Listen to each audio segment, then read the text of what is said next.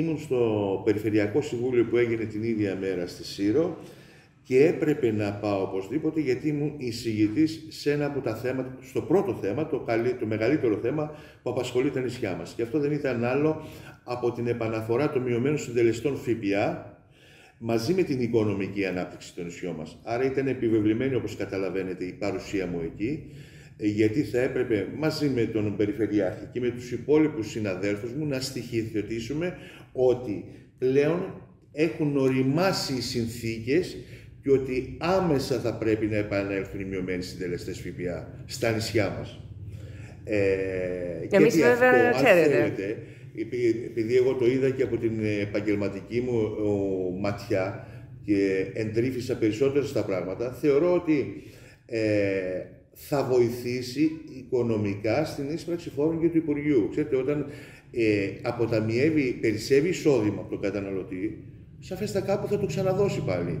Αφού θα δώσει λοιπόν, θα αυξηθεί η κατανάλωση, θα αυξηθούν και οι πράξεις των επιχειρήσεων και εκεί μπορούν να μπουν φόροι.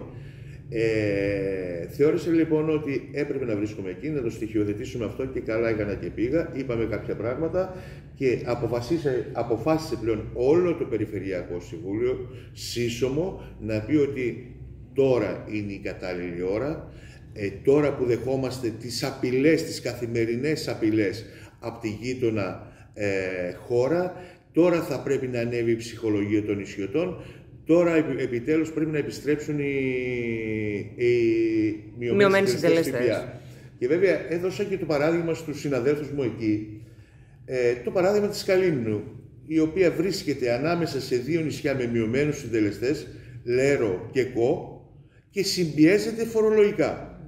Τι εννοώ συμπιέζεται φορολογικά; Αφού η ΚΟΣ έχει μειωμένους συντελεστές, ΦΠΑ, και η Λέρος, διαφορά και η Λέρος, Αναφέρω την ΚΟ γιατί από εκεί δημιουργείται το, μεγαλύτερο ναι, πρόβλημα. Οι επιχειρηματίες τη Καλύμνου είναι λογικό να αγοράζουν χοντρικά, χοντρικώς πράγματα από εκεί, γιατί υπάρχει μια διαφορά ε, 7 και 3, 11 μονάδες στο ΦΠΑ. Άρα είναι λογικό να αγοράζουν από εκεί αυτό, όμως συμπιέζει την οικονομία του, του νησιού μας και χαρακτηριστικά είπα ότι εδώ έχουμε ένα φορολογικό σάντουιτς